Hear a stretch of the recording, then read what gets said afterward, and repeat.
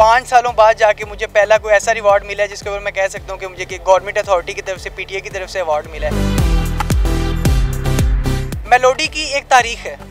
अगर हमारे जो वालिद साहब गुजरे हैं या बाकी लोग गुजरे हैं तो उनकी एक तारीख है कि वो बताते हैं कि मेलोडी से बेहतर खाने पीने की कोई जगह नहीं थी। नाश्ता जब भी करना है मेलोडी आना है।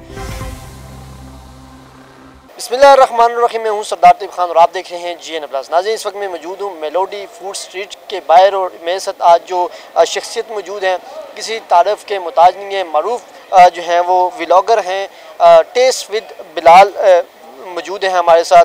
आइए इनसे जानते हैं कि ये कब से ये काम शुरू कर रहे हैं। अस्सलाम वालेकुम वालेकुम सलाम। क्या रहता है भाई? ठीक है आप? क्या आपका? शुक्र अलहमदिल्ला कब से ये आप काम कर रहे हैं? आप तो माशाल्लाह काफ़ी मशहूर हैं और अभी हाल ही में आपको टिकटॉक का अवार्ड भी मिला है और काफ़ी एक आपके लिए तो एजाज़ की बात होगी। अभी हफ़्ता भी नहीं गुजरा तो क्या कहेंगे सर शुक्र अल्हम्दुलिल्लाह शुक्र अल्हम्दुलिल्लाह। अ, असल में मेहनत बहुत लोग कर रहे होते हैं लेकिन अ, कभी किसी को जल्दी मिल जाता है कभी लेट मिलता है।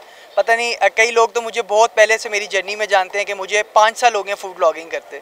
तो पाँच सालों बाद जाके मुझे पहला कोई ऐसा रिवॉर्ड मिला है जिसके ऊपर मैं कह सकता हूँ कि मुझे कि गवर्नमेंट अथॉरिटी की तरफ़ से पीटीए की तरफ़ से अवार्ड मिला है। रावलपिंडी इस्लामाबाद में आप वायद हैं जिन्होंने कंटेंट क्रिएटर फ़ूड के हवाले से आप पहले कंटेंट क्रिएटर हैं इस ब्लॉग ये कब कब से कर रहे हैं? कितनी मुश्किल आई हैं? और अब आपकी कामयाबियों के क्या राज हैं? थोड़े से हमारे व्यूज़ को बताइए। कामयाबी का राज सिर्फ़ एक ही है रब पे यकीन रखना है। क्या चीज़ यहाँ की जो है डिफरेंट है?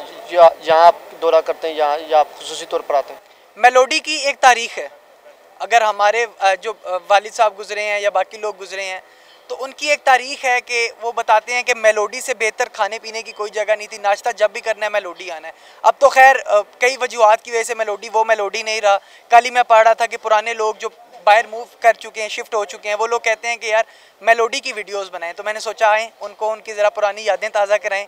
अभी भी यहाँ पे कई नाश्ते की स्पॉट्स ऐसी हैं जो हिडन जैम है जिसके बारे में लोगों को नहीं पता। बस वही कवर करने की कोशिश कर रहा हूँ। इसके अलावा मेलोडी में मतलब कि कहा जाता है कि खाने भी बड़े यहाँ के मशहूर हैं। तो कौन से वो खाने हैं या कौन सी ऐसी चीज़ हैं जो कि लोग आएँ और खाएँ और इन्जॉय करें? अच्छा नाश्ते मेलोडी शुरू से फ़ेमस था अपने नाश्ते के लिए?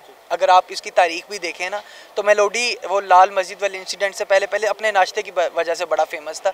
अभी भी यहाँ पे नाश्ता बहुत अच्छा मिलता है। अगर आपको नाश्ता ट्राई करना है तो आप ये इधर कैपिटल रेस्टोरेंट है इनके पास नाश्ता पराठे बड़े ज़बरदस्त बनते हैं। उसके बाद आपके पास रिफ्रेशमेंट की पूड़ियाँ टेस्ट विद बिलाल को कामयाब बनाने के लिए आपको किन किन मुश्किल का सामना करना पड़ा और अब वो किन कामयाबियों के मराइल में दाखिल हो चुका है? सबसे पहली जो मुश्किल मुझे फेस करनी पड़ी थी ना 2020 में कैमरा इंट्रैक्शन लोगों का अच्छा नहीं था। आज तो अगर हम लोग यहाँ पे कहीं भी माइक निकाल लेते हैं, कहीं भी कैमरा निकाल लेते हैं तो इतना फ़र्क नहीं पड़ता। जब मैंने स्टार्ट किया था तो लोग झिझकते थे कि पता नहीं ये क्या चीज़ दिखाने आ रहा है। आज तो पहले तो फ़ूड ब्लॉगिंग का ट्रेंड काफ़ी आम हो गया है ना। तो उस टाइम ये बड़ी मुश्किल होती थी कई कैमरा भी टूटे कई जगह पे प्राइवेसी के इश्यूज़ भी हुए, कई जगह हमें वीडियोस डिलीट भी करनी पड़ी और मेरी कोशिश ये होती थी कि मैं मोस्टली ऑनेस्ट रिव्यूज़ करता था, जो चीज़ पसंद आती थी वो ठीक है, जो नहीं वो नहीं। तो उसके अंदर काफ़ी लोगों की तरफ़ से ना ब्लैकमेलिंग का भी सामना करना पड़ा और कुट भी बड़ी खाई है, कई कई मौक़ों पर तो आप जर्नलिस्ट हैं, आप ज़्यादा बेहतर जानते हैं कि ये प्रोफेशन जो है, ये कितना डिफ़िकल्ट है।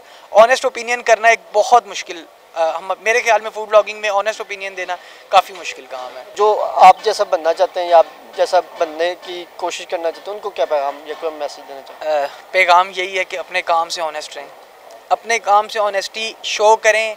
अगर आप पैसों के लिए फ़ूड ब्लॉगिंग में आना चाहते हैं तो बिल्कुल मत आएँ। आपको कोई फ़ायदा नहीं होगा अगर आपको खाने पीने से इश्क है या कंटेंट क्रिएशन से इश्क है या आप पाकिस्तान का या अपने इलाके का फ़ूड प्रमोट करना चाहते हैं तो मोस्ट वेलकम आप आएँ। आप मुझे डीएम करें मैं आपको गाइड करूँगा इंशाल्लाह। फ़ूड व्लॉगिंग में आप क्या खुद भी कुछ बना सकते हैं या सिर्फ़ टेस्ट वगैरह ही करते रहते हैं? काफ़ी हद तक।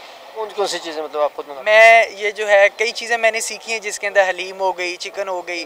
मुझे मुझे कराची की ज़रा वो ट्रेडिशनल खाने बड़े पसंद थे तो उसकी वजह से मैंने वो कुकिंग सीखी भी थी लेकिन वहाँ तक मैं पहुँच नहीं पाया। आने वाली कौन कौन सी चीज़ें जो आप चाहते हैं कि हुकूमत पाकिस्तान से आपको वो चीज़ें मिलें या आप उसके अकदार हैं और आपको एक अच्छी स्पेस मिले जिससे आप अच्छे तरीके से आगे बढ़ सकें? मैं जब मैं लोगों को ये बात करता हूँ लोग हंस देते हैं। मैं कहता हूँ मैं फ़ूड ब्लॉगिंग का ना बाबर आज़म बनना चाहता हूँ। मैं मैं ये चाहता हूँ कि मेरी वजह से पाकिस्तान का नाम रोशन हो।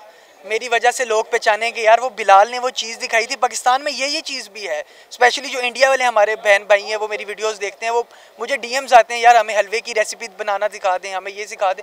तो वो बेसिकली ये कि पाकिस्तान के नाम साथ जब बिलाल का नाम जुड़ता है तो मेरे दिल को बड़ी खुशी होती है। पाकिस्तान पड़ोसी मुल्क वाले भी बड़े आपकी चीज़ों को देखते हैं लाइक करते हैं और अप्रिशिएट करते हैं। ऐसे ही है। ऐसे हमारे खाने का कल्चर काफ़ी हद तक सेम है। वो अगर वो जो चीज़ वहाँ पे नहीं बनती वो यहाँ से वो देखना चाहते हैं वो अडॉप्ट करते हैं। तो आप क्या समझते हैं क्या ड्रीम्स हैं क्या लास्ट में कहना चाहेंगे कि कब तक जो है वो बंदा इस प्लेटफॉर्म में आगे बढ़ सकता है और कामयाब हो सकता है? देखिए हर चीज़ की ना एक एक्सपायरी होती है। मैं मैं ये नहीं कहता कि आज से आप फ़ूड ब्लॉगिंग स्टार्ट कर दें बट मुझे पर्सनली ये लगता है कि ये हमेशा के लिए नहीं रहेगी। बट सम अगर आपको शौक है तो आप आज ही इसमें जंप इन करें बट अपने जो ख्वाब हैं उनको थोड़ा बड़ा रखें।